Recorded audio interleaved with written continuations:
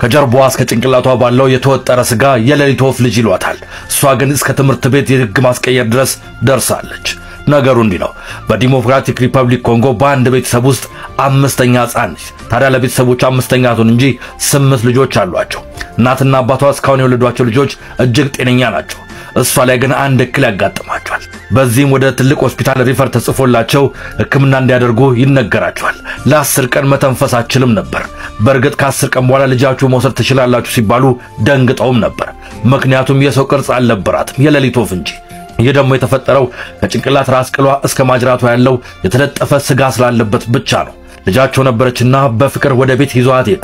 በእርግጥ ለብዙ ሰዎች አላሳዩዋትም ነበር። እሷም እስከ ሁለት ዓመቷ ድረስ ሞቃታ ቦታ እንጂ ሌላ ቦታ መኖር አትችልም ነበር።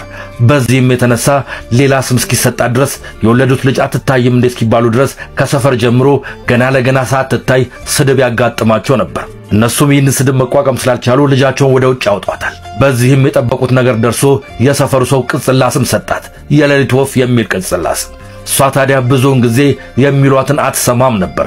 ምክንያቱ ደግሞ ፈጣሪ እንደሰጣት በተአምር እንደፈጠራት ታቅ ነበርና ነው። ታዲያ የሀገሪቱ መንግስትና የአካባቢው ሰው አካለ ጎደሎ ብሎ ይሰይማታል።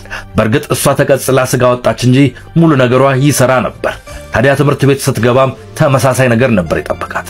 ትምህርት ጎበዝ ብትሆንም እንዳሰበችው ግን ሊሆን አልቻለም። ብዙ ሕፃናቶች ይሰድቧትም ጀመር።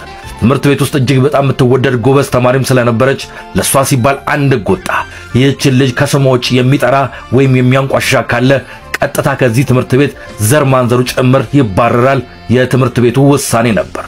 በዚህም ይህችን ታዳጊ ወደው የሌሊት ወፍ የሚለውን ስሙን ትተው እናትና አባቷን ያወጡላትን ስም ከፍ አድርገው ናኝተውለታል። ታዲያ ይህንን የሰሙ ትላልቅ የሚዲያ ሰዎች ወደ እሷ ተጠግተውም እጅግ በጣም ሕክምና ስለሚያስፈልጋት ጎፈንድሚ እያዘጋጁ እያዋጡላት ይገኛሉ። ነገር ግን ምንም አይነት ህመም እንደሌለባት ጤነኛም እንደሆነች ዶክተሮች ተደጋግመው ይናገራሉ። በእርግጥ እንደዚያ ትክክል የሚያጋጥማቸው ህጻናቶች እናቶች በእርግዝና ወቅት ክትትላቸውን ባለማድረጋቸውና የሚያማቸውን ህመም ቶሎ ባለመታየታቸው የሚመጣ ነው ይላሉ። ነገር ግን ይህች ታዳጊ የወደፊቷ የአፍሪካ ተጽዕኖ ፈጣሪ ልትባል እንደምችልም ከወዲሁ እየተተነበየላት ይገኛል። ያም ሆነ ይህ የሰው ልጅ ሰው ነውና ሌላ ተቀጽላ ስም አያስፈልገውም። ይህ የሚኖር ህይወት ነው። ሰላም